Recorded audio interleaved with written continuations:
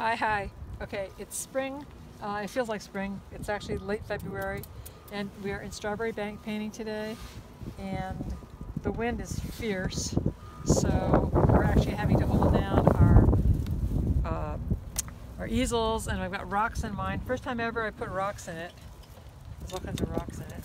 It's holding it down, but except when a big gust comes along, even 10 pounds or 12 pounds, whatever it is, is worth it. So we're painting scenes of Strawberry Banke, and the snow is melting out here on the big lawn, and we've got just a pile of snow over on the left where the shade of the trees goes on it, and the rest of it's just bare. It's, the snow's really going, and last week there was about two feet of snow here.